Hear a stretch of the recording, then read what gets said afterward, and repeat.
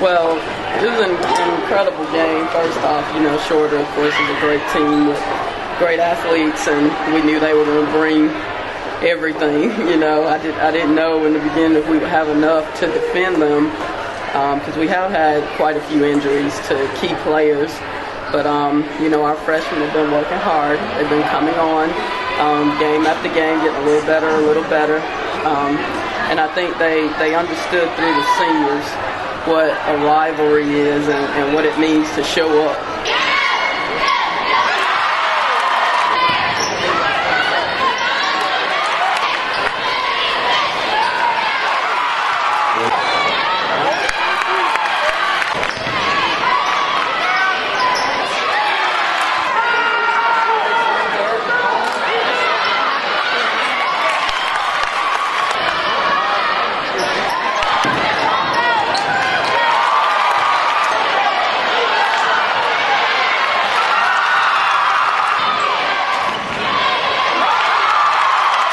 We had mistakes, but we shot the ball well and, and basically just did what we needed to do.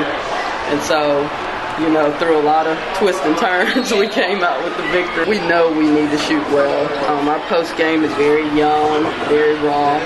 Um, you know, they're learning day by day, but the truth is we can't, you know, we can't live and die by the post. So what we need to do is, is get ourselves open for, for good shots. And that's what my team did tonight was they penetrated well and moved well to get open looks, which is a, a big part of making shots.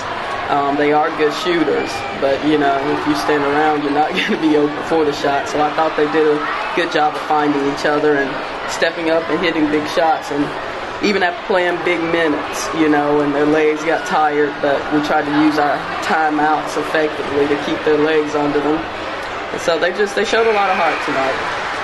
Well, was big for us because it, it, you know, for my young, very young squad, it, it builds our confidence. Um, they need to know that they can step into a, a, you know, environment like this and play big minutes and put up big shots and win against a, a very quality team.